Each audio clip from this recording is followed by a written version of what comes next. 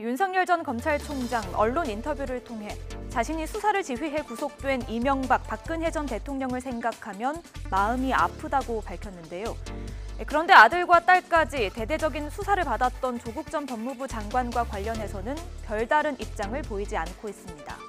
당시 수사의 배경을 두고 여전히 진실 공방이 이어지고 있기 때문일까요?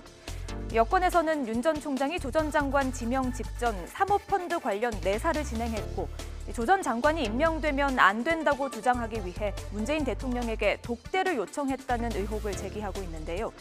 청와대 대변인을 지냈던 열린민주당 김의겸 의원의 주장 들어보실까요? 대통령을 좀 독대를 할 수 있는 기회를 달라. 어허. 네, 내가 론스타를 해봐서 음. 사모펀드를 잘 아는데 음. 아, 조국 나쁜 놈이다. 음. 네, 아, 대통령께서 임명하면 안 되고 음. 어, 내가 직접 뵙고 설명할 기회를 달라. 이미 조국 장관은 임명장을 받은 상태였는데 네. 이거 대통령의 인사권을 흔들려는 거냐? 음. 검찰 개혁에 대한 저항이냐? 음. 아, 라고 이제 이야기를 하니까 네. 아, 이 윤석열 총장이 아니다. 아, 조국만 도려내면 된다. 조국만 잘라내면 된다. 어. 그, 게 오히려 대통령을 위한 길이다. 민주당 이해찬 전 대표 역시 언론 인터뷰에서 조 전 장관의 법무부 장관 지명 직전 윤 전 총장이 대통령 독대를 한 번도 아니고 두세 번 요청했다고 말했습니다. 박상기 전 법무부 장관도 윤 전 총장이 사모펀드를 문제 삼으며 조 전 장관이 임명되면 안 된다고 말했다고 밝혔습니다. 입시 문제는 내 기억으로는 언급도 하지 않았어요. 사모펀드 얘기만 했어요. 사모펀드 이건 뭐 쉽게 얘기하면 사기꾼들이 하는 거다. 그래서 결론이 내려져 있더라고. 부부 일심 동체. 민정수석이 그런 거 하면 되느냐 이런 식의 이제 도덕적 판단부터 시작해가지고 결론이 법무부 장관 낙마 낙마라고 얘기해 법무부 장관 해서는 안 된다는 얘기가 그 말. 물론 윤 전 총장은 사실이 아니라고 강하게 부인하고 있는데요.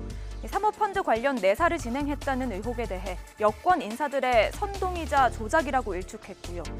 대통령 독대 요청에 대해서도 독대는 물론이고 뵙고 싶다는 이야기조차 한 적 없다고 부정했습니다. 조 전 장관에게 많은 도움을 받았는데 무슨 원한이 있겠느냐고 반문하기도 했는데요.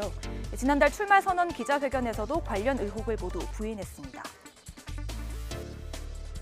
수사 착수하기 전에 뭐 청와대 관계자와 아, 뭐 무슨 뭐 누구만 도려내겠다 뭐 어?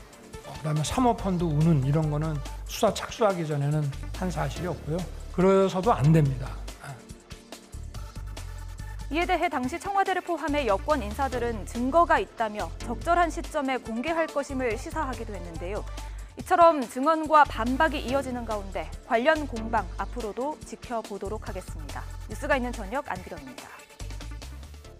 안녕하세요. 안기령입니다. 뉴스가 있는 저녁 잘 보셨나요? 더 많은 뉴스와 콘텐츠를 보고 싶으시면요. 화면 왼쪽을 누르셔서 YTN 도라쩌 채널을 구독해 주시기 바랍니다. 뉴이쩌는 물론이고요. 돌발 영상, 알고리즘 같은 YTN 대표 프로그램을 함께 보실 수 있습니다. 고맙습니다.